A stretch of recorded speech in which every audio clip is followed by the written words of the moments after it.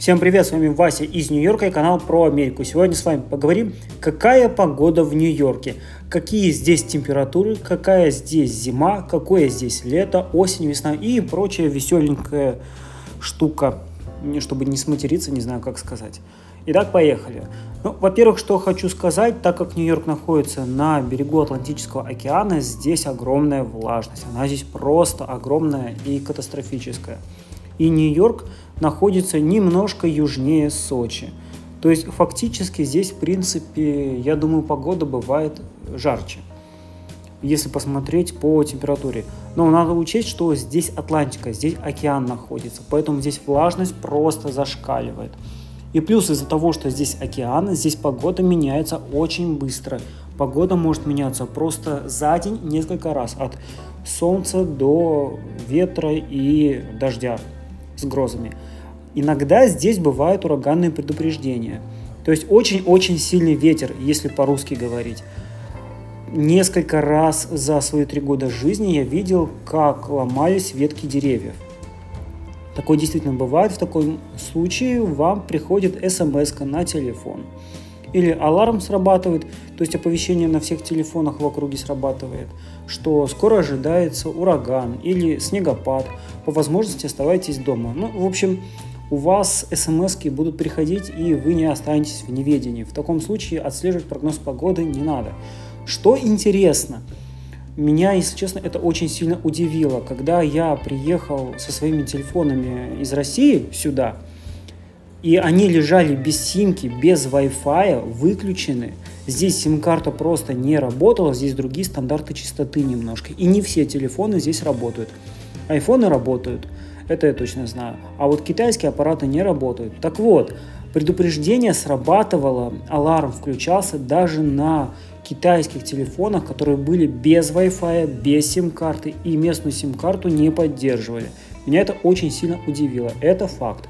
Предупреждение на таких телефонах тоже срабатывает. В этом плане я не специалист, сказать не смогу почему. Следующее – это огромная влажность. Так как я, например, родился и вырос на Урале, влажность там никакущая, речка Урал, я считаю, влажности почти не добавляет. Так что из-за местной влажности я первое время в мае ходил в зимней куртке, и я мерз. Здесь другая теплопроводность. Это зоомагазин. Смотрите, хамелеончики, дальше морские свинки будут. Из-за этого я первое время мерз. Какое-то время нужно на адаптацию. Теперь я при этой погоде спокойно хожу или в футболке, или в небольшой кофте. Ну или спортивной какой-то такой кофте.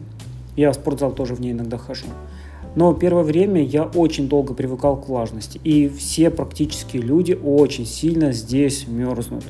Здесь по-другому ощущается температура, все совершенно другое. Она ощущается гораздо сильнее. Если небольшой ветер и минус, то у вас это ощущается просто как дубарина. Ой, смотрите, какой классный. Да?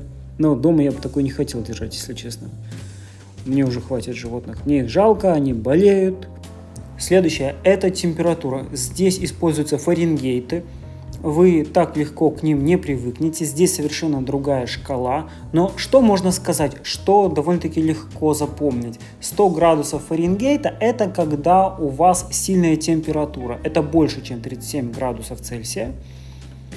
Потому что здесь почему-то считается температура заболевания чуть выше, нежели мы привыкли к этому в России и в СНГ. И 100 градусов Цельсия – Ой, вру, Фаренгейта, что это?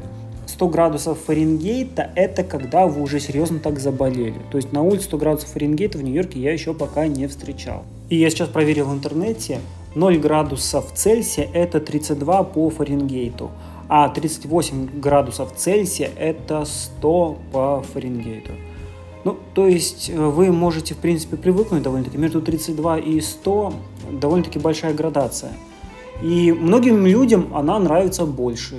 Ну, просто как есть, так есть. Ничего страшного. Я привык, а я далеко не самый умный человек на свете.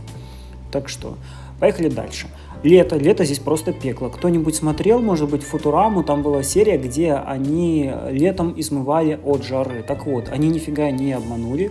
Действительно, так очень сильно жарко. Это правда. Здесь очень много хочется пить жидкости, и я не представляю, каково в июле или в августе, например, в Техасе или в Калифорнии, насколько там жарко. Если Нью-Йорк хоть и южнее Сочи, но он находится, если по карте смотреть, довольно-таки высоко в США, ближе к северу. Я не говорю про Аляску сразу. Я говорю про основную часть США на материке. Следующее – это зима. Э, в Нью-Йорке снег – это нонсенс. Он здесь, если выпадет, то у людей шок. Э, дети, как правило, не идут в школу, потому что это снег, это у людей сразу паника у некоторых наступает. Здесь мне объясняли водители, здесь запрещено использовать зимнюю резину. Здесь в таком случае нужно одевать цепи на колеса. Ну вот как есть, так и говорю, как мне объясняли, так я и рассказываю. Очень необычно видеть, как на автобусах есть, э, есть такая, ставят цепь. Кто-нибудь, может, видел в фильмах, как цепи на колеса ставят? Они к центру прикрепляются, эти цепи, и очень довольно-таки крипово выглядит. Представляете, едет автобус, а у него цепи на колесах. Смотрится интересно. Ну, как есть, так и есть. Разумеется, перед тем, как здесь холодает, посыпают все солью, реагентами, к сожалению, обувь от этого страдает. Многие домоуправления, если по-русски, тоже посыпают дорожки солью, и получается такая слякоть, и обувь от этого очень сильно страдает, к сожалению. Поэтому обувь нужно мыть. Но такое, к счастью, бывает крайне редко. А, здесь в конце января 29 числа выпадал снег, так что город встал. Многие магазины были закрыты. Так что снегопад это нонсенс. Никто, как правило, не идет ни на работу, ни в школу. Но если у вас какая-то неотложная работа, то, разумеется, вы идете на работу как миленький и всем плевать, что там сугробы. Об...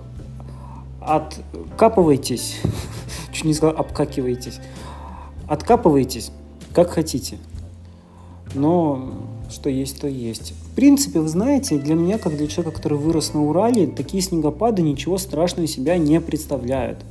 Но этот город, он все-таки южный, если сравнивать с Россией.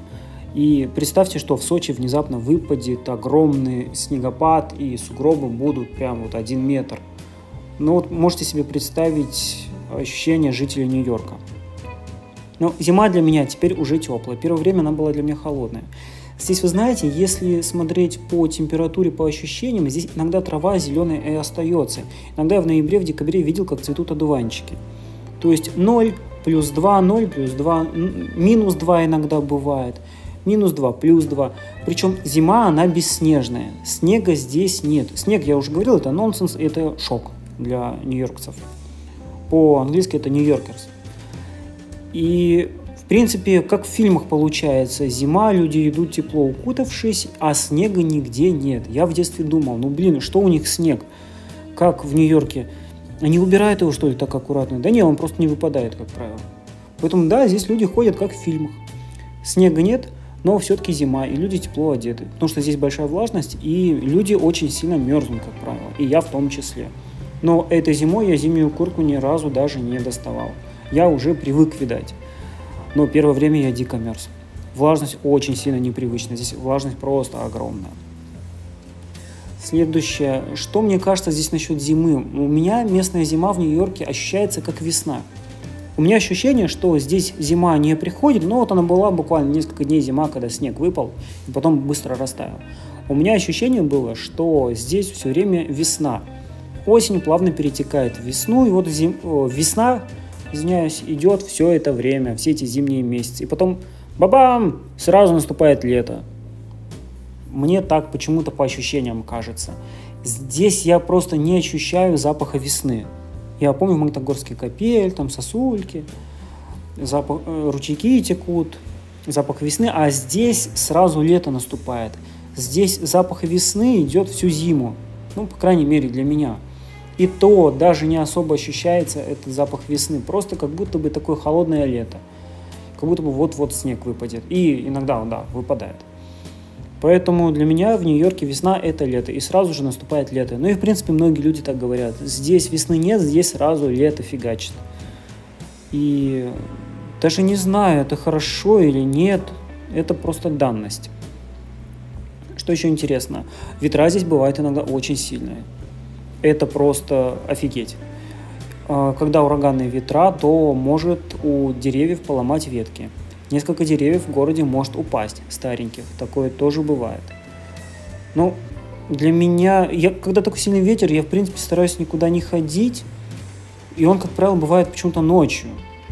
И когда вы уже утром идете на работу или куда-то, вы смотрите, там дерево упало, там еще что-то, вы в шоке такой идете, думаете, нифига себе ветерочек был.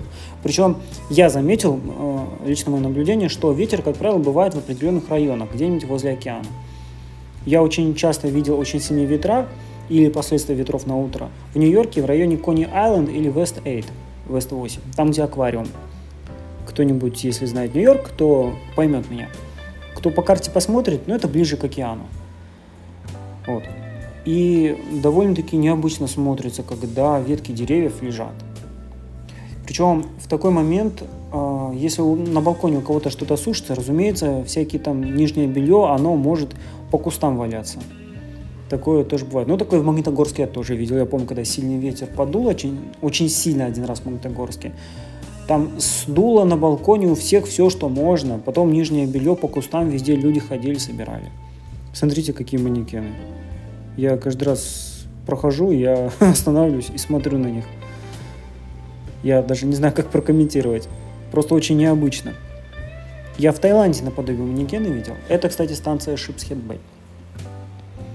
Видите, э, я так полагаю, что здесь зелень адаптировалась к такой погоде, разумеется, и трава зеленая здесь круглый год. Ну, разумеется, это такой сорт травы, но одуванчики иногда я действительно вижу, как круглый год здесь цветут. Хотя я не понимаю, как одуванчики могут цвести при температуре плюс 2, но как-то они умудряются. Я их видел много-много раз. Очень часто здесь бывают дожди. Нью-Йорк. Кто-нибудь, может, помнит? На Дерибасовской хорошая погода, на Брайтон-Бич опять идут дожди. Так вот, да, на Брайтон-Бич часто идут дожди. Ну, в принципе, как и в Нью-Йорке. Я иногда смотрю и думаю, я в Питер попал или в Нью-Йорк. В общем, вот такие дела. Такая погода. В общем, ничего такого фантастического я не сказал. Самая обычная погода. Бывает и холодно, бывает и тепло, но из-за влажности здесь погода воспринимается совершенно по-другому. И температура ощущается кардинально по-другому. И к этому какое-то время надо привыкать. С вами был Вася из Нью-Йорка. Пожалуйста, поставьте мне лайк, вы мне очень сильно поможете. Всем пока!